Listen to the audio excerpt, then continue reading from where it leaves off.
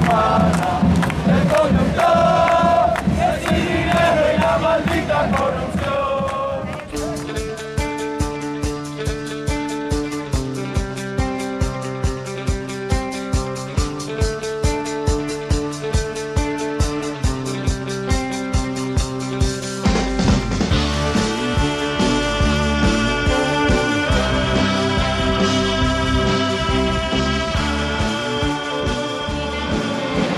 Bueno, mira, primero estamos en esta movilización para decir fuera TVA y fuera la política de concesiones ferroviarias, que bueno, que la- esta terrible tragedia dejó al descubierto el fracaso de esta política, que tiene claro responsable el Estado Nacional a través de la Secretaría de Transporte, eh, burocracia sindical, que tiene funcionarios en la Secretaría y bueno, y los concesionarios que vaciaron y destruyeron el ferrocarril. O sea, de ahí surgen claramente los responsables.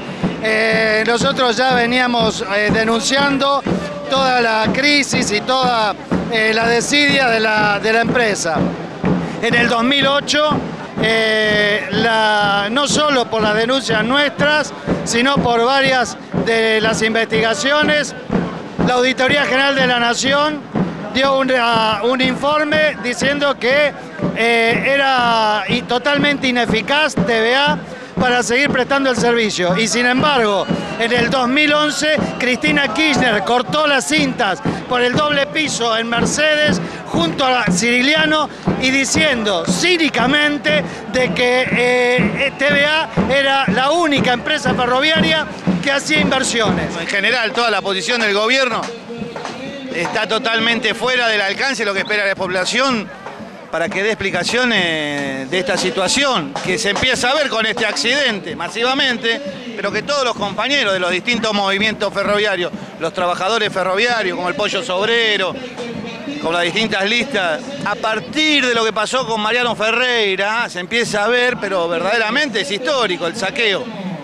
que viene dándose con las privatizaciones, bueno, y la continuidad de este gobierno. ¿Qué puede defender? ¿Cuál puede ser la posición de Cristina es socia de los cirilianos? En primer lugar, elude la responsabilidad que tiene no solo la Secretaría de Transporte, sino el Poder Ejecutivo Nacional, y pareciera que le da la espalda a los familiares de las víctimas, justifica todo lo actuado por TVA y por la Secretaría de Transporte, así que en una, en una palabra deplorable.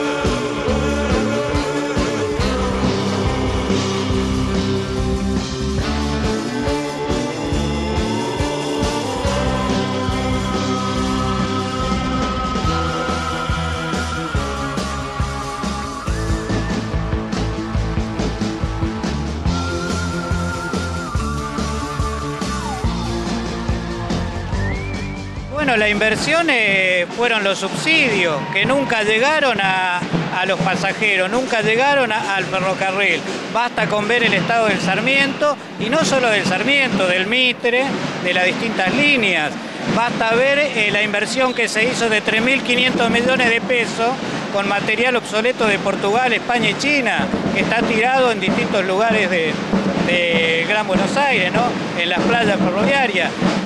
La medida que debería tomar el gobierno es la restatización con control de, los usuarios y de los trabajadores, recuperar un servicio de transporte público para, para los trabajadores y el pueblo argentino, que somos los que generamos la riqueza, y debería hacerlo con financiamiento de los grandes grupos económicos que se han que enriquecido. tiene que volver no solamente, no solamente a ser restatizado y tiene que estar bajo la conducción de los trabajadores, sino que tiene que tener una, una política y un proyecto de recuperar todo el sistema ferroviario a lo largo y a lo ancho del país en el contexto de un nuevo programa de país. Porque este programa es de saqueo y entrega.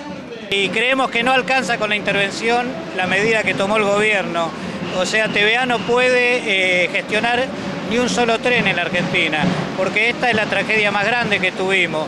Pero ha habido un sinfín de, de accidentes, de descarrilamiento, eh, a causa de, bueno, de la desidia de, de este grupo empresario, con la complicidad que te señalaba antes.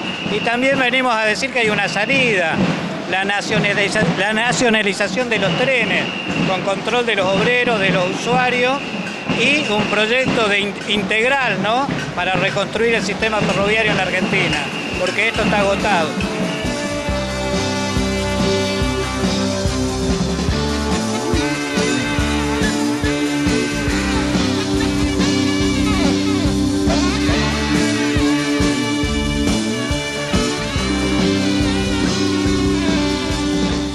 Queremos que los trenes surquen de nuevo de punta a punta el país, pero para eso hay que sacárselo a los Urquía, sacárselo a los Techín, a Cargill, a los Macri, inclusive al contubernio de las empresas con los sindicalistas, como la Unión Ferroviaria y la Fraternidad con los empresarios que tienen el Belgrano Carga. Todos esos ferrocarriles tienen que ser de nuevo puestos al servicio del pueblo.